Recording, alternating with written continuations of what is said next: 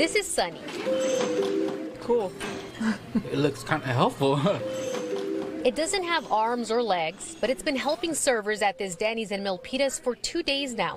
The robot help us a lot, especially when somebody, I mean, we are too busy. Restaurants across the bay have been dealing with a labor shortage. So the team here says they're just glad to have an extra hand or an extra set of wheels. Sometimes we get too busy and we have to, I mean, we have to walk and run sometimes fast.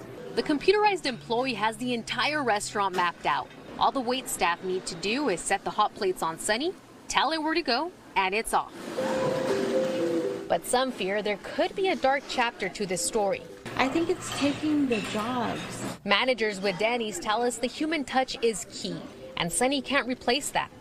The robot is just there to make everything glide smoothly. Our servers are very warm and very friendly, but with the help of robot, they are improving their efficiency and productivity. The robot is only helping them improve their efficiency. So it's not replacing any of the employees or servers. These servers say they'll keep smiling and tending to customers and count on Sunny for backup.